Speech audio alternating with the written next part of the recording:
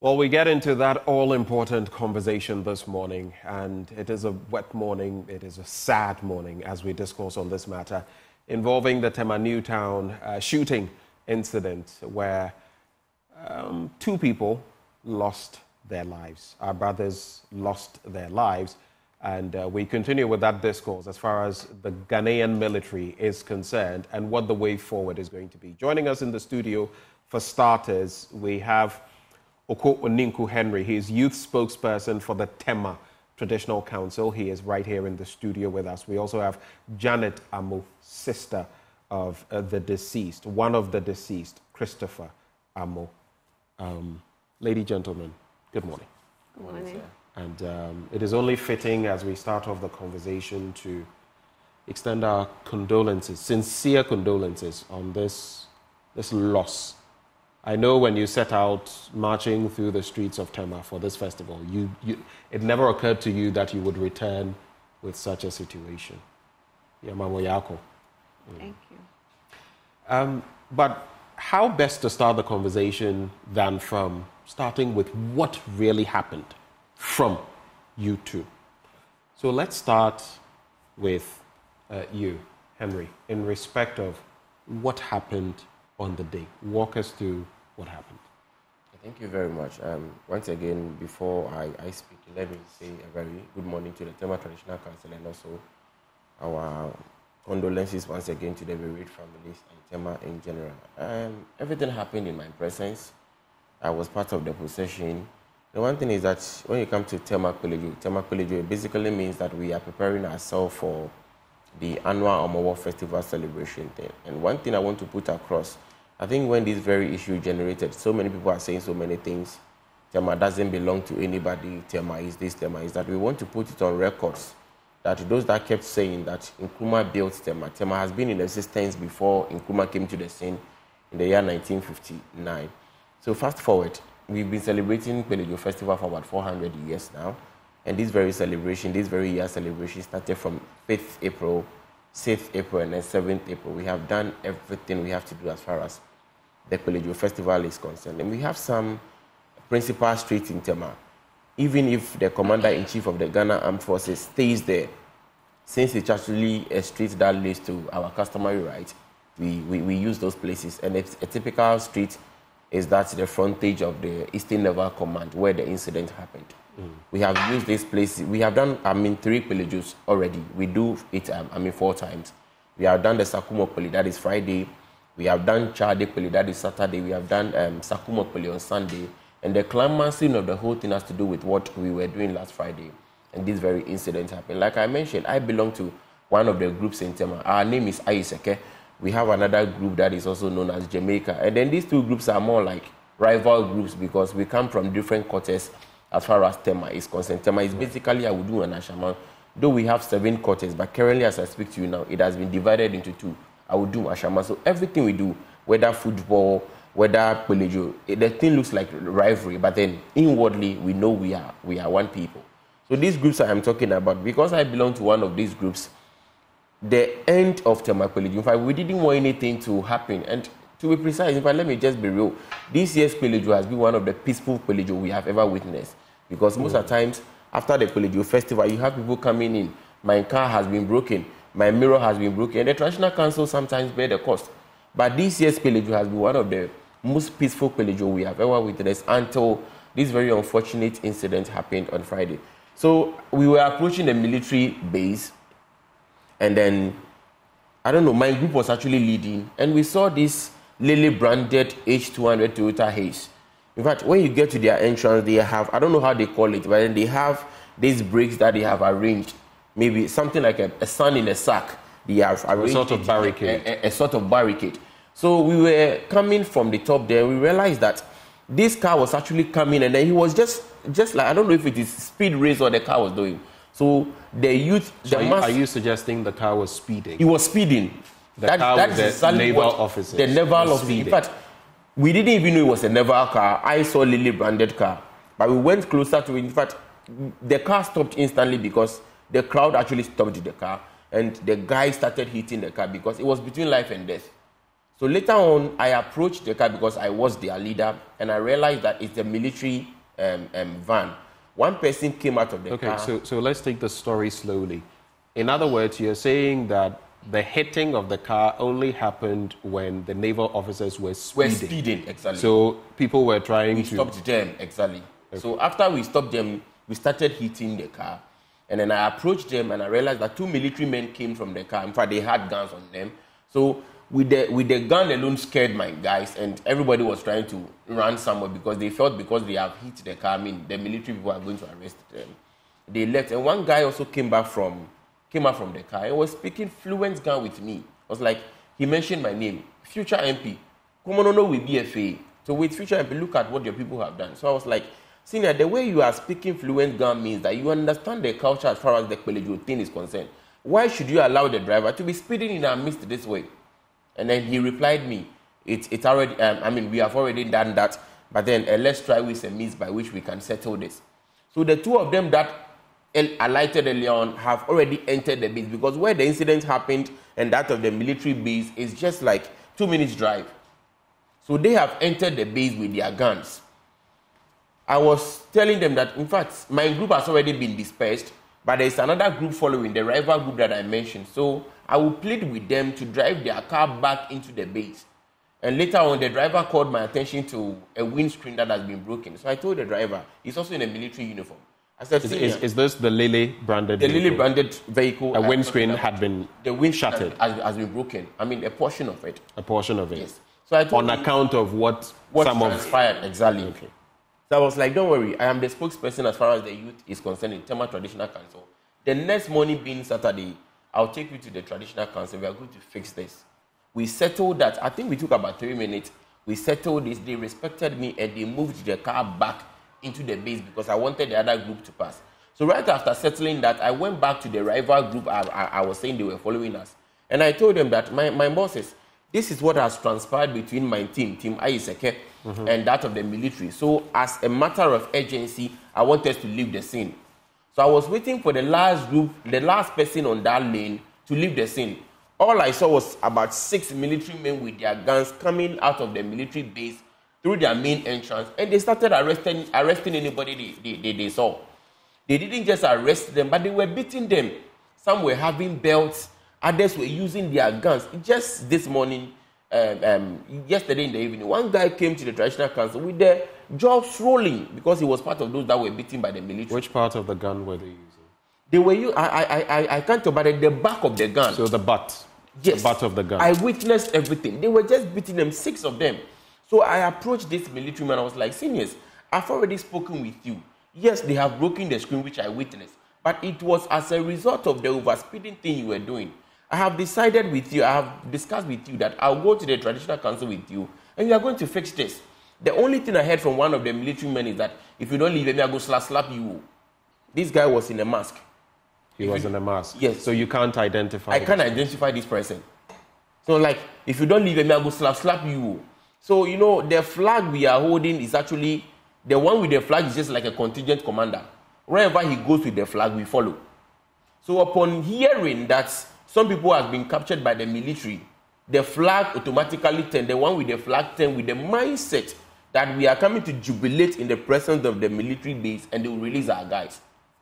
So just like, let me say, two minute interval, there was, when you get to their entrance, there's this military guard who is playing a supervisory role. He's at the top. So I heard him loud and clear, be on alert and be on guard, which means that he was actually communicating that to those military men at the entrance. And quickly, I, I don't know if they felt we were actually coming to attack them. We weren't having anything like machetes. We weren't having anything like, like woods or something. And they started, in fact, what I saw, they were, were, they were firing into, into, into the air. Okay, so, so pause there for, for me a bit. You, know, you also know that this is a naval base. Exactly. It's a military installation. Exactly. Um, you don't enter a military installation under normal circumstances. Civilians, there are some places that are security zones. You don't enter like that. Right. And this was a mammoth crowd. Entering like that could also send the signal. You know that these are military officers. Technically, their training is also in a certain direction. Were you or your people, were you aware of this as you as you went in there? Because though you may not have been holding no, we, anything, we didn't enter still the base. En- mm. So there's a street. We, the street is actually a principal street we use. Yes. Right. Yeah. So we and and under no circumstance would even thought of entering the base because you definitely you can't enter a military base. In fact, you, you, you, you end up being beaten. But had you gone past the road to the entrance point? I mean, their entrance is just by the roadside. And we have other people staying behind the military base. So it is just like a normal route we use. In fact, the, the, the principal street that leads to the only health facility we have in Tema, Polyclinic, is within that stretch. So everybody uses that place. Mm. So we didn't go with the mindset of attacking the military. In fact, we don't have ammunition on us.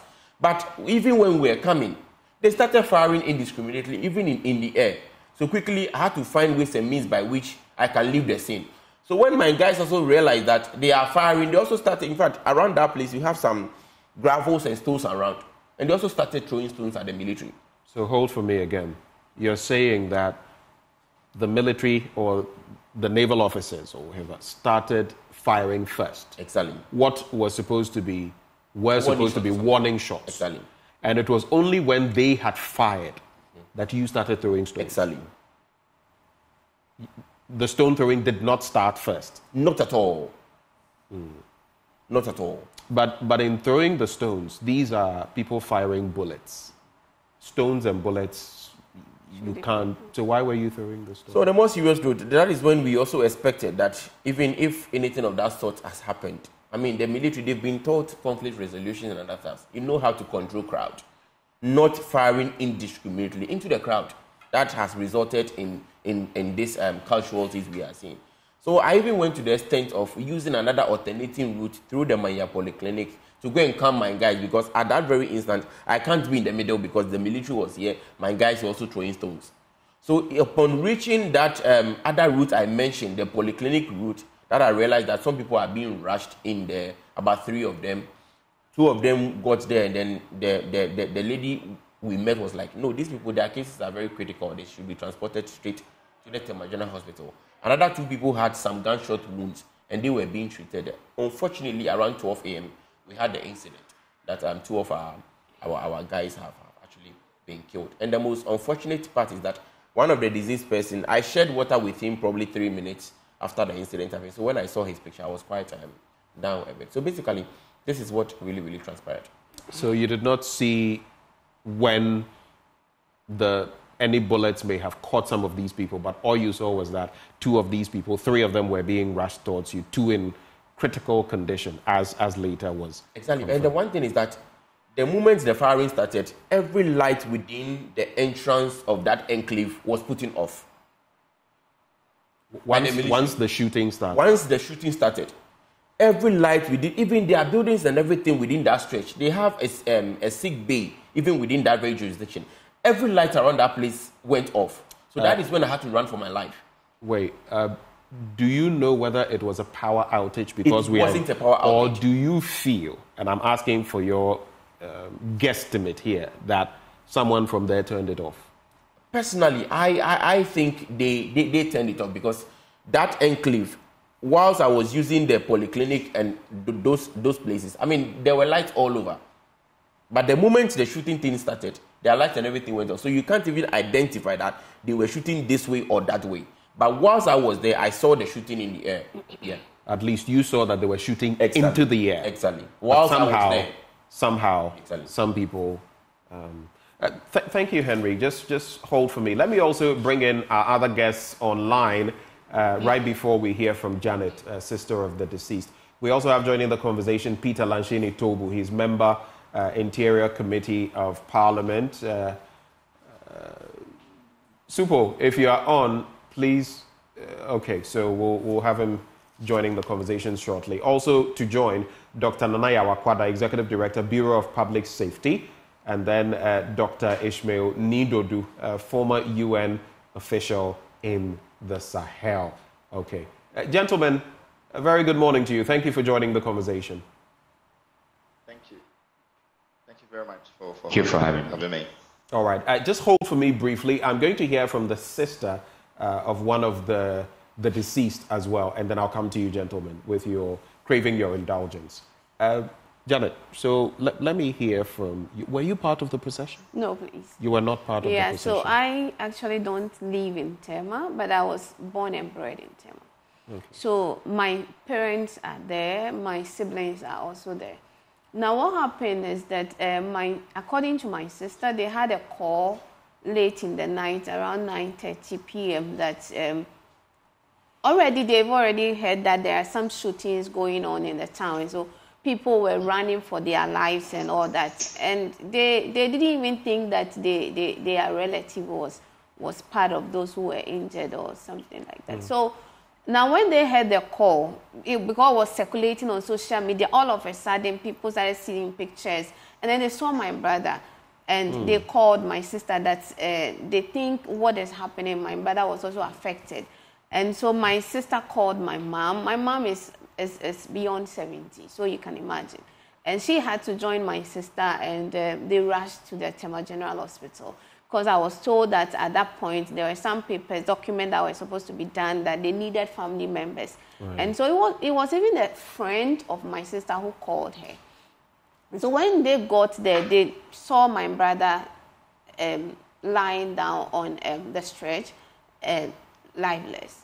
And uh, that is at the hospital. At the hospital. Mm. And so they, they tried all they could. They, they saw that no, he was already gone. And uh, people had been there already to, to see to whatever needed to be done. So they went there and saw the body lying down there. But as to what exactly happened, they were not there. It was videos and other stuff that they saw online. Now, my sister took pictures of the body. Okay.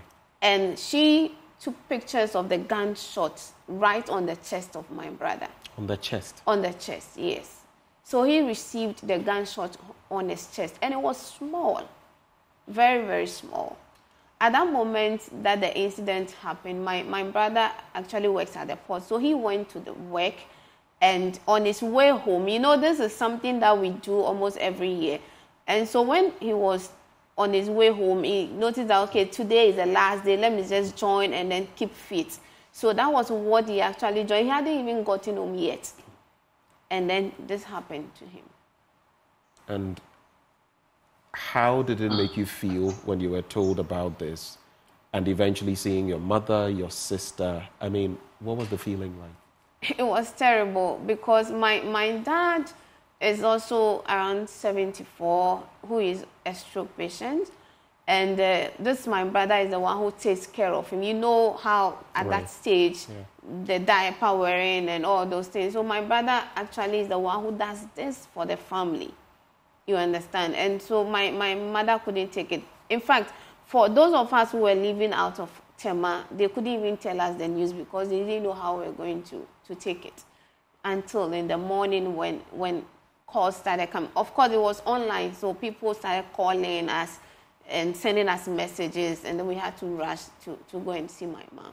Yeah. And your brother was 38? No, my brother is 40. 40? Yes. Okay, then there is some because the story the the daily in the, yeah. graphic says 38. It's, normal, so he was yeah. actually 40. Yeah, I follow him directly, so I know his date of birth. Yeah, my brother is 40. He turned 40 in February. Mm.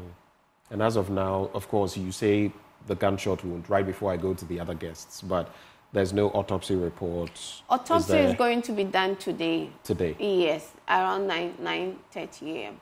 To confirm. To confirm. What led but to the per the pictures that my sister took with her phone, it wasn't knife. I mean, because we saw in the news where the armed forces came up with their statements that mm. um, those who got injured were gunshots, but those who died were bullets, uh, were um, knife. I mm. mean, it, it, doesn't work like that. Is it because those people are alive and they can speak for themselves, so they can tell them that okay, yours is gunshots, but those who are dead, they are gone, and so we can use something against them? No. My sister took pictures, and we have it. I have it on my phone. So, this is the sad incident. I'll be going to my guest, but right before I do that, I just want to take a few seconds to read the statement from the Ghana Armed Forces. It is crucial so that we situate the conversation properly with our guests who are technical people. If we can have uh, that statement on the screen. But I have it here, and it's dated the 13th of April 2024. It's titled Attack on Naval Base Tema. And it says, and it's the wording I want us to pay attention to, especially for my guests.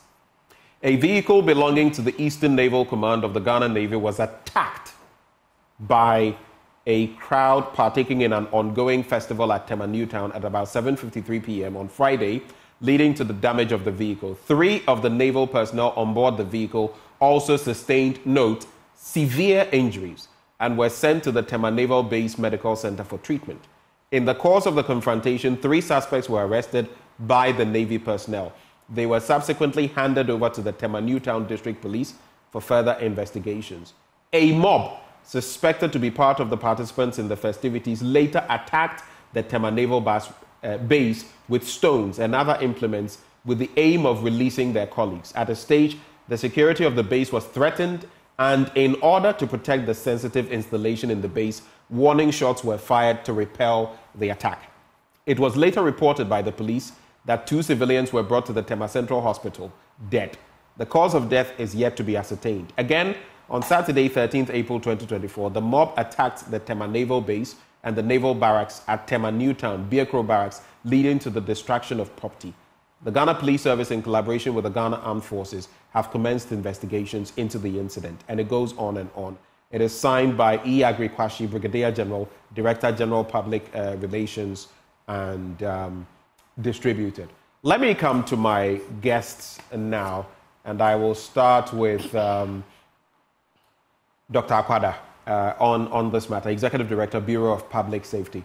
Uh, how, how, and, and this question goes to both of you, gentlemen. What is your appreciation of what happened uh, from the narrative you have known and from what we've heard in the studio? what, what is your understanding of what happened? Uh, very good morning to you and your viewers, and as well as to the panelists. Um, I think, in short, I would say that it's it just shows or gives away um, an armed force or a branch of an armed force that lacks, you know, strategy. Um, that does not is not actually pursuing any strategic objective as far as uh, relations with the community is concerned. And uh, this is not peculiar to only the naval, um, you know, force but it's something that we have seen across the general armed forces, uh, which is not a good sign, especially for our development and for the advancement of our democracy. Moving forward, there is a need for us to take very pragmatic and um, um, bold steps to get our military, uh, if you like, the armed forces, to pursue very strategic objectives that align with the promotion of democratic tenets. Um, let me come to you, Dr. Dodu, then. For you, what story have you heard, and what would be your key takeaways from this incident, the, the response from the Ghana Armed Forces, and what you've heard this morning in the studio? Um, thank you very much. Um, and I'd like to um, say good morning to, to viewers. Um, also, uh, I would like to uh, share, share, my send my condolences to the two deceased uh, uh families. It's such a heartbreaking news. Um, you know, young people at the at the prime of their their youth uh, who are truly uh, national assets, then you just lose their their lives tragically. And in, in this is quite worrying. Uh, what what I hear from uh, from talking to different um, stakeholders, and I've had some conversations with some uh, some people in the in the navy and the military side. Uh, I've spoken to some of the traditional authorities and some of the youth groups. Um, in fact, the the, narr- the, narration that I just heard from the youth leader in the in the Tema traditional uh, council is actually consistent with what I I, I gather around. Um, so I think that it, it, really what happened was um, an issue of indiscipline um, uh, that uh, you know perhaps the military uh, gentlemen who were actually in the, in the vehicle uh, they don't exercise. Uh, because normally, uh, when these uh, festivals are happening, um, the, this festival has been happening for, for many years, and uh, the community, Tema community, and the, uh, the Neva base have actually been in existence for more than three decades. Yeah.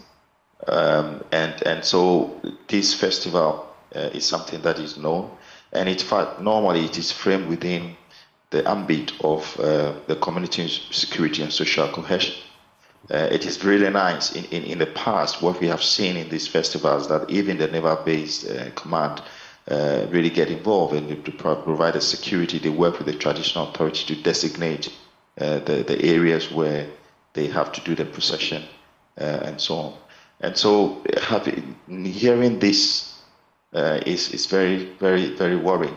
And in fact, as uh, my other guest said, we, we, are, we, are, we are witnessing uh, a breakdown of indiscipline in the, in the security sector and security forces, particularly the military, uh, in situations where there have been a confrontation between mob attack and uh, uh mob attacks. And, and sometimes even the confrontation is, is simply something that they can dispel uh, but then, uh, you know, for lack of discipline or lack of tactics, um, they they just they just get into this fray of punishing the citizens. Yeah. One thing that is very striking is why do you have a military covering his face? When have we seen a military personnel covering their, their faces?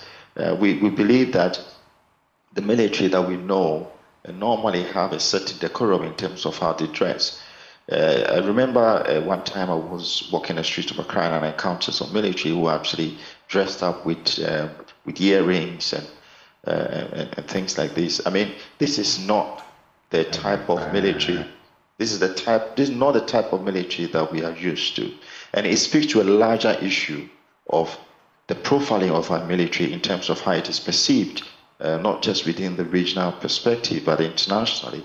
Uh, it also speaks very well about uh, the, the, the, type of military that we have uh, vis-a-vis the standards and decorum that is required for international best practices to the extent that this could be considered uh, uh, within uh, you know the framework of international security strategies for the for, for the region if you for example in UN UN uh, uh, for UN you know military personnel, for example, to be considered and things and, and so on. We have to be very very careful. Um, we are talking about um, development. We are talking about a situation between uh, social cohesion uh, within community that needs to be engendered and fostered by a military personnel, uh, military entity that has the presence in that particular community. Uh, so I, I, I see uh, this issue as uh, an issue of lack of discipline. It, it's symptomatic of a weak, weak a breakdown of social cohesion and community security in terms of how our, our, our security entities within communities are, are, working together. It also speaks to a certain level of uh, anger that is within within youth um, of of the perception of, of the of the of the naval base. Perhaps they they have been uh, you know things that are happening within the naval base which the community themselves are not very happy about, and these have not been addressed. So uh, you know this whole issue uh, you know just just just just escalated. Uh, having said that, I am aware. That, uh, in fact, I was informed uh, that in authority that when they are their naval base and they they are you know on guard. They normally have live bullets. I was wondering why uh, live bullets would would be shot rather than a non-lethal weapons uh, used uh, for such a situation. But they, this is the standard practice that they normally have to shoot uh, live bullets, and and and uh, it is the estimation of the of the guard that the the mob is attacking a military installation uh, and if you are attacking a military installation, then they have the right to dispel you. And I think this is also uh, what, what happened. Is that your reading of the matter? Right before I bring in Superintendent retired uh, Peter Lanchene Toobu, is that your reading of, of the issue that this was an attack because I've spoken to Henry in the studio, who speaks for the Tema Traditional Council, and he says there was no such thing. They were right at the the entrance, the entry point. They had not got into, veered into the naval base, and in that this is the route they use. So, is it your understanding that there was some sort of attack? Because, and I ask that specifically because the statement from the Ghana Armed Forces says there was an attack, that some of their members were severely injured, and also that they got some of these people and subsequently handed them over. Where the suggestion is that they were kept for a while, whether beatings happened or not, we, we cannot confirm, and then taken to, before they were taken uh, to the police station. So I just want your take on that before I move on. Yeah, I, am just analyzing these from the circumspective evidence that uh, the, the you know the military uh, report have said that there was they felt that there was an attack. Now we are hearing from the community that there was no attack. I think at the at the point where the the guards would have made their decision to shoot live bullets, they would have interpreted it as a threat, and I think that for me is is what what, what is concerning.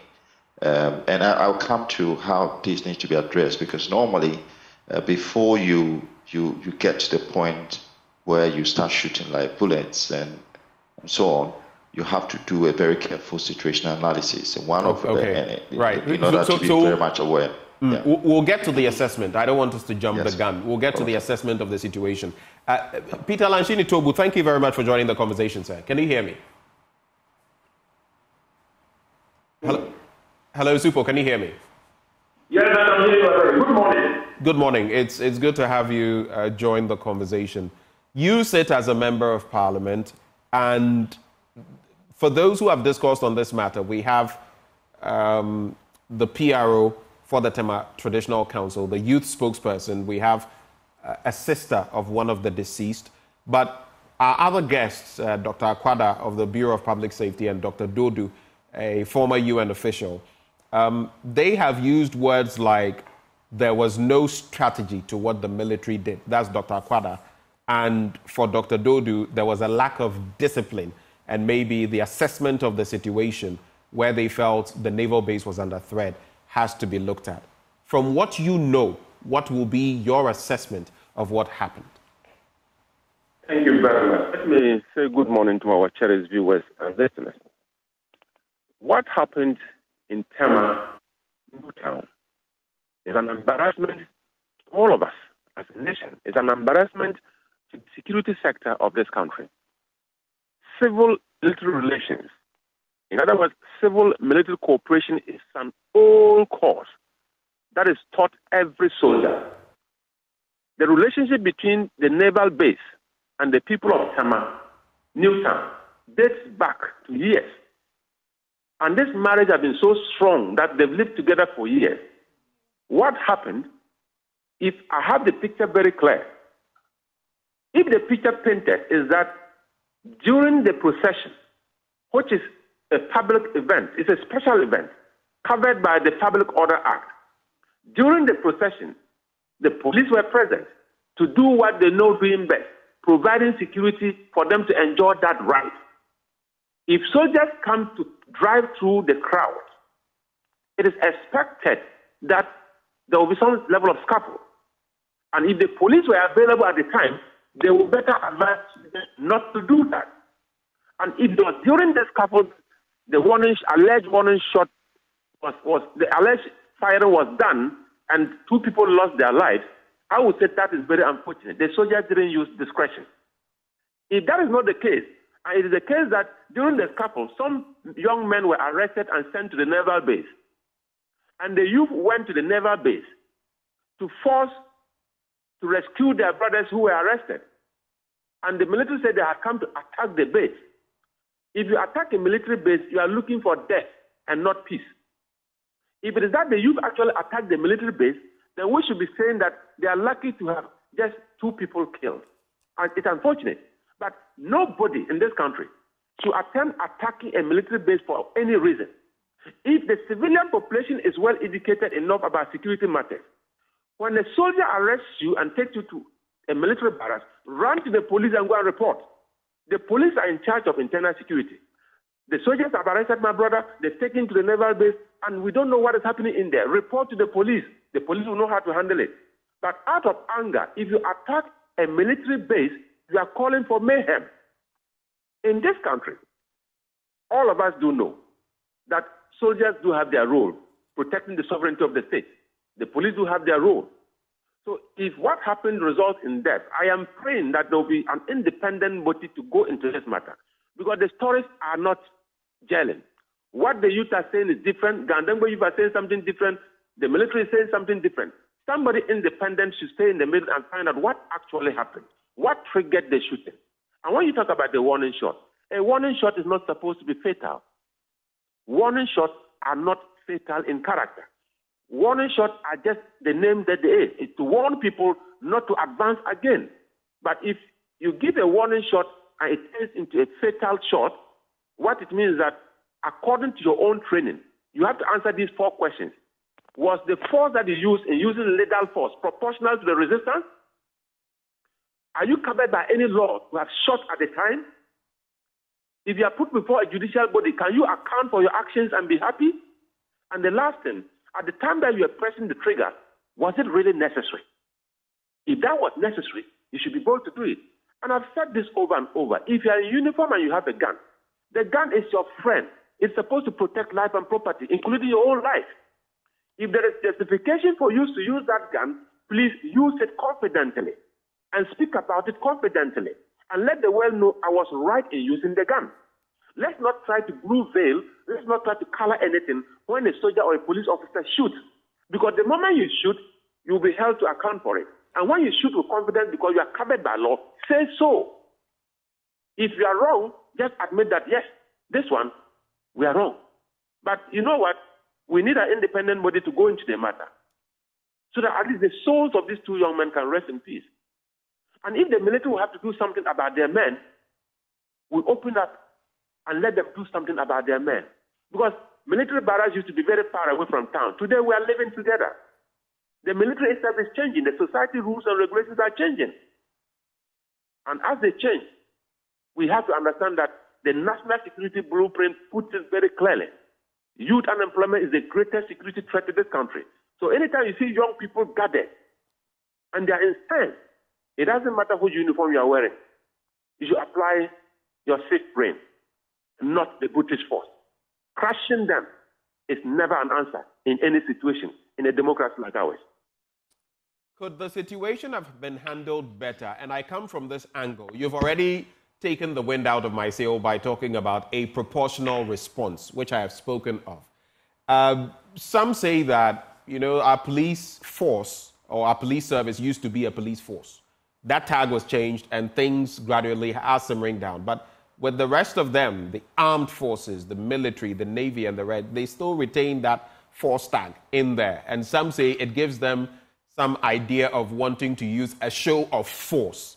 Of course, if you look at what the police has to do vis a vis what the military does, there are differences. But is that orientation in itself a problem?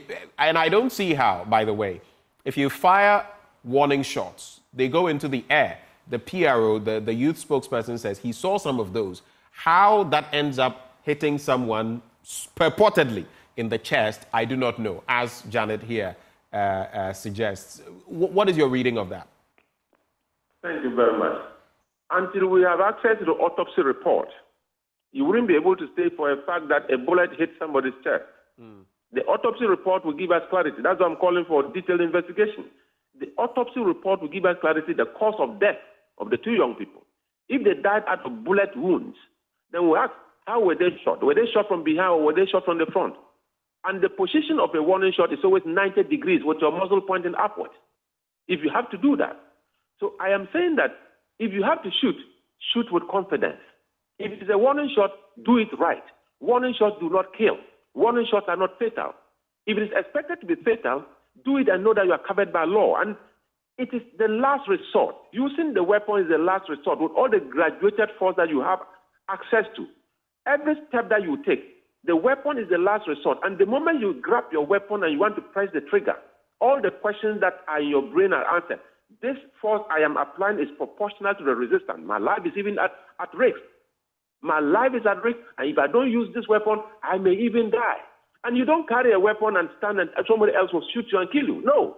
Probably the mob was rowdy or the youth were rowdy and probably they were destroying property and even harming and killing people. When you use a weapon, you use it and you are justified. Whatever it is, at any point you are using the weapon, be confident in yourself that, look, I am using it or I am going to be held accountable and I will confidently say it because I am covered by law. If you are a soldier or a police and you shoot and you want to be covered, you don't, you don't want to come out clean, it means that you knew you were wrong. If you are not wrong and you are covered by law, why are you carrying the gun? How many Ghanaians are carrying those guns? You are given the gun because you have the right to hold that gun, and there are rules and regulations governing the use of the gun. So when you are covered by rules and regulations and you are supposed to use the gun, use it with confidence. Don't be afraid. If you are afraid, it means that you are wrong. And if you are wrong, just come clear and say, this one, we got it wrong. It's simple.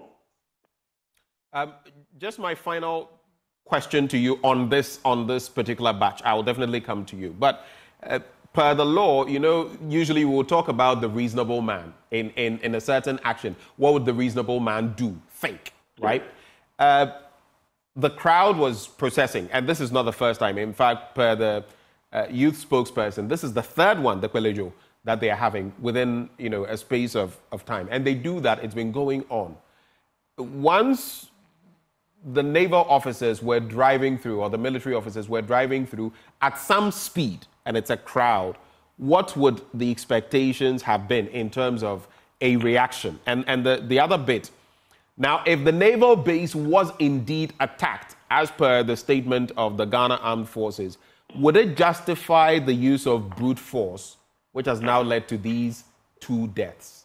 Uh, two quick questions, and then I'll go to the other guests and then come into the studio as well. Thank you very much. If the military installation was attacked by the youth, the military are trained to defend that property with all the zeal in them. Attacking the military property is not just the attack of the military property, it's attacking the Ghana armed forces. And if civilians begin to attack the armed forces, the army is trained to deal with combatants. They are not trained to deal with civilians. But if civilians are changing their color to the point that they can go and attack a military installation, you are calling for mayhem, and they will not pay you. Just clarify, even if even if these purported uh, combatants, because they are civilians, they don't have arms. All they have are maybe the worst case scenario. They have stones. Um, I just wanted to draw your attention to that before you proceed. Yes, I am saying that whether you are you don't have anything in your hand, you are armless, you are looking harmless, whatever it is, the psychology behind you attacking a military facility should never be part of our culture. Let's move away from that. Mm. Because our military has a very high international reputation. And sometimes when we push them to the point that, excuse me, they misconduct themselves, it gives the country a very negative image. When we talk about military brutality, let's also talk about civilian responsibility. Both of us, both of us must create the armed forces that we want. If the military is wrong, let's tell them in the face, this is wrong. If you have irresponsible group of people, let's also tell them this your behavior is also wrong. Because two wrongs do not make a right. And that is why the police stays in the middle. I am saying that if you have a problem with the military and you are brutalized, don't go to them, go to the police and go and report. The police have the mandate to investigate everybody, including the soldiers. And this we must know as a people. So what is happening? This festival that has come, please, it is not going to be the last one. It's been happening. The police were there. Let me give a very short example. I have participated in a festival procession like that. A young man took away my beret. I was wearing the beret. He took it away from me. But we didn't go chasing and slapping people. All we did was to get their ringleaders, and they finally got my beret back. And we still had a smile in our faces because that is policing. In that mood, when the youth are charged, it's a festival. It has a culture. You have to understand them. They are not there to harm anybody. But, you know, when there are disagreements and you don't understand the culture of the procession, you can actually create mess and it will turn violent. What happened should be investigated. What happened should be kept. And we should ensure that it doesn't happen, it, it never happens again in our history. It is embarrassing to all of us as a people. Yes, but on the point of the reasonable man and, I mean, speeding through the crowd, I, I pose that question yes, first. I, uh, I, once, once you're going at a certain speed, through a crowd like that, what would you expect? It is recklessness for you to see a procession and drive through it irrespective of which uniform you are wearing. Surprisingly for me, the police were there. And if they had consulted, if the military had consulted the police, can we go through this crowd? The police have allowed them to stay away from the crowd just for a few minutes, and they will still clear the way for them to pass. It is not right to be aggressive driving through the crowd. You are, in fact, you are becoming provocative. And when you become provocative, it just shows power. And when you do show power, in the midst, one will also have group think, because the whole crowd is there like a group. When you have a group think and they can also react, it can only end up with violence. The best thing we can do as a country as we speak is to ensure that anything of this nature, we should be talking about de escalation. We should not create a situation that can escalate tensions and escalate violence because people are frustrated. The young people in this country are very frustrated, and we need to handle them with care. Well, thank you, uh, Peter Lanchene Toobu. Just hold, hold for me. The studio, just to clarify a number of matters. So, in this instance, I, some of the youth they were taken to the naval naval base and kept kept there for a while before they were taken because the statement says subsequently it doesn't mention they were taken to the naval base but it says that subsequently which suggests that something may have happened and then they were taken to the police who how many people were taken into the naval base if any and what happened to them I think in my presence, I saw six people because the, the military men that came out, there were actually six people, and everybody, I mean, grabbed somebody. So in my presence, I saw about six people that have been um, arrested. And like so said, about six officers grabbing six, six people, people, and taking them exactly. into the base. And in fact, no, clarify into, into the base. the base. Into the base. So even at the entrance of the base, you could hear them shouting, screaming, "Hey, you hey, boy!" So I, I, I felt uncomfortable because in other words, they are beating us, they are killing us. They are killing us. So I approached one military person, was like, Master, if you don't leave me, I will slap, slap you. So that is when I had to step back. So they were beating them. Just yesterday, one guy came, one of the victims, and then the jaw is swollen. He had bandage all over. The traditional council had to give him money, and I had to escort him to, to, to, to the general hospital. So I mean, they were just beating us anyhow. And like the um, security experts mentioned, we live with them. In fact, they are friends in the community. Yeah, Personally, I have two tenants who are military personnel in my, my own apartment. So we, in fact, we live with them. We drink with them. We do everything with them in the community. And one, one beautiful part is that the police were all over. You see them driving, but then the police will stop. Even when they have their sirens on, they will stop. They will stop, will pass, and they will continue. So we were living with them. And let me commend the district commander of the Ghana Police Service, Temama here to be precise, Mr. Eke and his men. They were, they were, they were so lively on the ground. They, they have been with us. And it, it, was beautiful. Like I mentioned, this is not the first time we are, we are celebrating the Kwalejo Festival. And this very incident will never stop us from celebrating our annual Kwalejo Festival. And hopefully, this will not lead to any frosty relations between you and not, the not military. You know, we know the military the plays a very pivotal role as far as security in Ghana and everywhere is concerned. Now, when you come to Tema, we are giving them a vast land because we know what they are doing for, for the nation. They are built barracks. I don't know if you've been there. Look at, I mean, the portion of land that the traditional council willingly gave it out. So we don't have any frictions with them. Like I mentioned, I have two tenants who are military personnel. We have indigenes who are also in the service. So we prioritize the kind of work they do. But for you to underrate our, our, our celebrations. And one unfortunate thing is that I know some of them are bearing gun names, others have Akan names, and they go back to their communities. They celebrate their festival. So what we are saying is that they should never underrate our festival. They should never intimidate us as far as our festivals are concerned because we preserved those lands before they have gotten whatever they have now. And I hope, as you are saying it as spokesperson for the youth, it it has simmered down, that the youth also understand it as you understand it, so that there will not be any further you know, escalation of, of this. Exactly. You, are, you are doing that, right? Yes, we have had several meetings with them. Just even this morning, around 9 a.m., we are meeting them again at the Tema Traditional Council because some of them were of the view that, yes, we live with them in the community. We'd also try to do whatever I want to do with them. But personally, we have had so some, some of them are thinking of reprisals. That is exactly what somebody had. So we, we have called them, we have met them severally, and those of us that we are youth, that we are opinion leaders within the community, both from the political um, um, divide, we are meeting them. Let me commend the Member of Parliament for Tema East Constituency, Honorable Isaac Ashai Odamtten, the Mayor of Tema, Honorable Yohane Amarh Ashitey, the Regional Minister Designate, Honorable Daniel Nii Kwartei Titus-Glover, They have all putting aside their political affiliations. They have come together and we are solving this very issue. And one beautiful thing is that both of them took part in the Kwalejo Festival, so they know what we do as far as the Kwalejo Festival is concerned. Janet, and, and I know it is tough talking about this, but the truth must be spoken so that we all get to know what really happened. Yeah. You've already mentioned to me that the autopsy will take place today. Today, yeah. At 9.30 a.m. yeah, 9.30 a.m. Um, do you have family members who will be there yes. to observe, yes. to get... Yes, yes. So family members are there and they are going to observe. But I mean, we live in Ghana and now you can't even trust. There are trust issues. Uh, we are just there are trust hoping. Issues? Yeah, there are trust issues. I mean, there are trust issues. So we're just praying that um, nobody will utter anything. It will be just as it is, and then we'll go in there and then do it, and the, the truth will come out. But I, I, like I told you earlier, my sister took pictures, and it's just a small hole on the chest.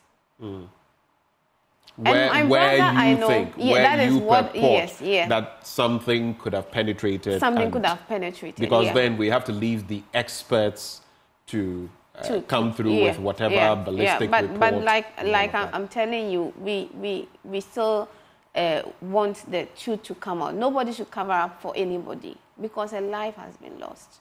Why do you think there could be a cover up? Why, why would that be something that would easily spring to your mind? Ah, because um, even when the autopsy hadn't been done, I already saw in, in, in on social media the armed forces already saying that it wasn't gunshot when it has not even been done. Right. So once you even do that ahead of the autopsy, it means that you're already defending your people. People were on duty that day and they need to stand up for whatever they did. They need to come out and then they need to accept, take responsibility of their mistake. But if you come out even before the autopsy saying that those who got injured were gunshot, but those who died were out of a knife stabbing and all that, it means that already you are defending your people. And that is where we are thinking that something could go wrong. Mm, mm, mm. So, which family members are going to be there today? Just to clarify. Yeah, my sister is going to be there, and then my cousins are also going to be. Your cousins are going to Yeah. be there. Of course, your mom is already. You said seventy. there. Yeah. This runaround is not is not the She best option for yeah. her. And your father, whom you say has suffered a stroke, and this forty-year-old, your brother, He does was taking everything care of for him. My, my, my does he know what is happening? He, he knows because people keep coming to the house. We have the minister coming around, we have the mayor coming around, we have people. And then my brother, some way, somehow, everybody knows Very him in the town. Yeah, Very, he's very very, popular. yes. And so people are coming around, and where he works and, and all that. He was also born and bred in the town. So you can imagine, my, we can't hide it from him. Has that affected him? Very, very much. Yeah. Let, let me also get back to uh, our guests as we wind down on this uh, end of the conversation. I'll, I'll start with you, Dr. Dodu. Having listened to all the ends, uh, the loose ends, the autopsy today at 9.30, uh, what the military has said, what the family and the youth group have, have said, what Peter Lanchene Toobu, who has been in, in the service, the police service, has said.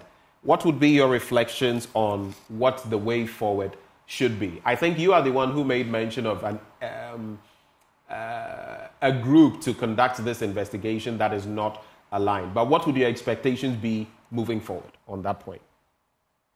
Right. Um, thank you very much. I would like to underscore again that uh, this is a very sad situation and listening to the sister of the deceased and talking about the, the impact of this sudden and tragic death on the family, especially the, the, the father and the mother and the, you know and even the community is quite um, disheartening. Uh, and I, I express my condolences again. I think what is important to do is to uh, do a, a couple of things. Uh, the military is beginning to lose um, its its uh, reputation, so they might they may have to do some reputational damage. Um, listening to the issues that um, have been raised by the families and by uh, the the member of the interior committee who was actually uh, on the service, uh, really tells gives gives the the impression that the military uh, perhaps in their statement they are not being very uh, truthful in, in what had come out. So then, if that is the impression that is being left in the minds of, of the citizens, uh, it's a very very damaging reputa- reputationally for, for the military. So they need to really deal with that. The second, the military needs to make sure that there's a real accountability. Uh, those who were involved in, in this incident, those who started it, the one who was driving through the, the, the procession, um, and then the, the, those who actually shot the, the guns and uh, what what went into their uh, you know judgment in terms of why they have to use lethal weapons. Uh, and did they actually shot a gun? Uh, you know, it was a warning shot, or they were aiming at individuals to kill them. Um, all these things need to be addressed. The second uh, aspect is also the issue around discipline. Uh, we have seen time and time again that this issues is is happening, uh, you know, too often, and it's, it's, even to the extent that it's becoming an existential existential threat um, uh, to to the peace and security of our country. Where citizens don't feel safe, where citizens feel that um, if they are, you know, uh, somebody who is in the security sector actually um, unjustly kill them or, or, do something to them, they don't even have uh, justice. It is a it's a very bad situation because he really reflects on the overall rule of law uh, of the nation, and that leads into uh, you know some you know issues around social cohesion uh, with with modernization of everything. And there's an urbanization happening in the capital, you are likely to have military installations spreading in, into communities where they, they were not uh, before. And so there must be a way for the security sector to be able to to manage their social uh, social cohesion issues with the communities. And I think something like this uh, should be an opportunity for the military to really sit down with the traditional authorities and, and, and really try to address the issues very well and come out with a set of standards or decorum of how they would they would be able to work together and live together with the people. Uh, the final thing I wanted to say is we are, we are going into elections. Now, when citizens begin to have this perception of the, the highest form of security apparatus, which is the armed forces, to the extent that they cannot trust it. Uh, and then we do have issues around our policing and their capacity and how citizens don't feel much more trusting of the police compared to the to the military. Uh, and you are having that at the highest level of trusting the security apparatus is being uh, the confidence being being destroyed. Then citizens will be very, very worried uh, in, in the wake of elections because they will be thinking, what if, what if? And that's very, very dangerous uh, for our democracy. So it is very, very important that we take really lessons from this issue and the military reassure the, the nation that they are bringing, you know, they, they, they are making sure that people are going to be held accountable and they are holding themselves to the highest standards that we know of them. Uh, we, as a final, but my last point is this. I also have a feeling that there are miscreants who are emerging in the security sector that we need to deal with. I don't know how these days recruitment is, is happening, but there seems to be a, a, certain level of politicization of that of the security sector, uh, to the extent that uh, you know political parties see it as an avenue for creating jobs for some of their boys. And so you have individuals who go into these, whether in the military, the navy, or immigration, or whatever, who, who don't feel that because of the way they were recruited, uh, they are they have to, you know, subject themselves to the tenets, the decorum, and the standards of the of that of the of the choice of the sector they've been put to. So, in other words, they have people in high places, so they don't even respect command. Now, uh, these things is what brings out brings about some of these issues where uh, a military I can't even imagine a military person uh, of the of the standard that we are we are we, we hold them to drive through a procession such as that, what were you thinking? I mean, as a disciplined armed force personnel, you will never even think about that. So if they will have that confidence to be, be misbehaving in this way, I think that the issue of the recruitment and how they feel uh, untouchable within the command is something that, that is coming out and is coming as a result of the right. heavy politicization of um, of that security sector, and that's right. very very worrying and concerning to the nation. Thank you so much, Dr. Dodu. Uh, for you, Dr. Akwada, before I take uh, Peter Lanchene Toobu and then we wrap in the studio, Dr. Akwada. Well, thank you. Um, I think I would like to uh, look at three things. One, um, Dr. Dodu mentioned um, somewhere along the line, he mentioned something that was symptomatic of a breakdown of discipline. Um, one, we need to look at the leadership, both at the political level and at the institutional level. The kind of breakdown we are seeing in the last couple of years in discipline and the lack of professionalism, which is a Hello, Dr. Akwada.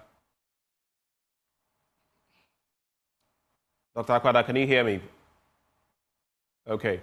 It appears we've lost uh, Dr. Akwada. If we're able to get him back uh, shortly. Out we'll... which is, yeah, which is, hello, am I, I'm back? You're back. Please go ahead. Okay. Yeah, which is out there is largely due to weak political and institutional leadership. We need to get leadership to be tactical in their approach and to be very deliberate with the armed forces. If we don't and we we you know uh, dilly dally with it, we'll be witnessing more of such. Number two, our armed forces must pursue strategic objectives, objectives of um, you know cultural understanding wherever we find ourselves we need to pursue aspects of security cooperation with the citizenry and we also need to continually have community engagement if these things were there and we're pursuing them strategically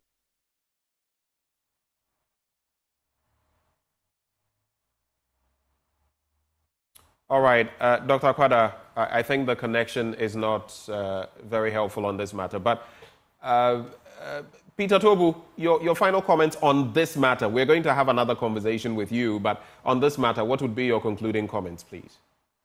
Thank you very much. Let me convey my heartfelt condolences to the Breed family and also to congratulate the youth of Tema Newtown.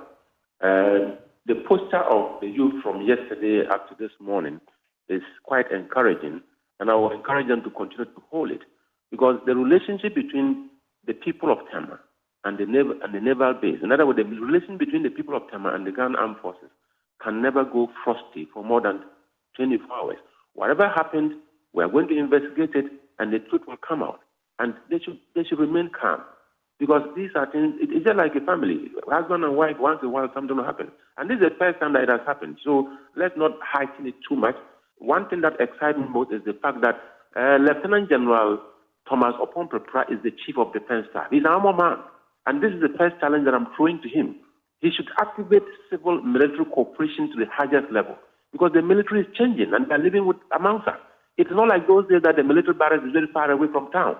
Lieutenant General Thomas Oppong-Peprah, I encourage you, let this be a trigger that will activate your sense of commitment to ensure that the relationship between the Ghana Armed Forces and the civilian population is, is, is better. Um, Dr. Dodu made a point of the emergence of miscreants in our security services. is, it's, it's, it's, a, it's a, key point. It's, it's, relevant. And we should be very careful not to politicize, political, politicize recruitment. I have made a point this morning about the Honorable Minister for Interior making a public statement that he has told the IGP that they were coming out with a supplementary special recommendation list for the police college where officers are trained to become senior police officers. And I said that is a no-no for a politician who is responsible for policy attempting to go into operation and administration. That is absolutely wrong. And that is the point that Dr. Dodu made. I think let's, let's, let's, let's look at it critically. But um, this is a matter that has come. We all have to investigate the matter. And let's clearly, ensure that we nip it in the bud. It should never, ever happen because it can give the country a huge debt. All right. Peter, just, just hold for me uh, just a minute and then we're gone. Just to conclude with you briefly in about 30 seconds each. Janet, Janet okay, so what's your concluding? I mean, I, um, what I want to say is that once we come to the end of this matter, uh, we want justice.